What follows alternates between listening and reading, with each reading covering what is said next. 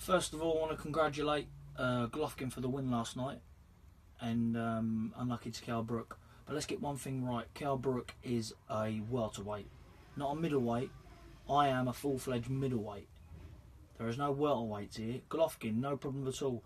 I should imagine that you'll be around for a couple of days. I've been onto my management this morning. We would definitely get it on. I definitely want you on your next available date. I'm fighting on the 29th of October. So Golovkin, I'm ready when you are. What date you come back with me with is a date I will accept. The date I will accept. I will give the fans what they want to see. And I see faults and flaws in you last night that I know I can pick out. So, like I said, biggest respect. You're a very good man. Extremely good man. But let's see who the best is for all of the belts. No Never thought I'd see the day when Billy Joe Saunders would call out Gennady Golovkin.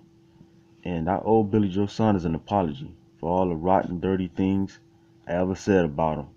I had no idea he would ever call out Gennady Triple G Golovkin standing in the middle of his living room. That takes heart. That takes a ball sack. To call out Gennady Golovkin, I can't believe what I'm seeing. Billy Joe Saunders just dropped that ether. That shit that make your soul burn slow.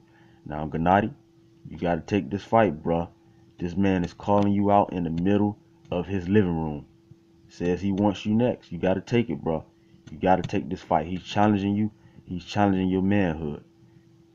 And all the fans, we want this fight. Big unification. WBO title. Let's make it happen, bruh. And I'm proud of you, Billy Joe Saunders. I'm proud of you, bruh. You showed a lot of heart. Showed a lot of heart calling out Gennady Golovkin. I can't believe you did it. I can't believe it. I'm shocked. You shocked the hell out of me this morning. I woke up and I saw you calling out Gennady Golovkin. That's some big shit. That's some big shit. That's what I'm talking about.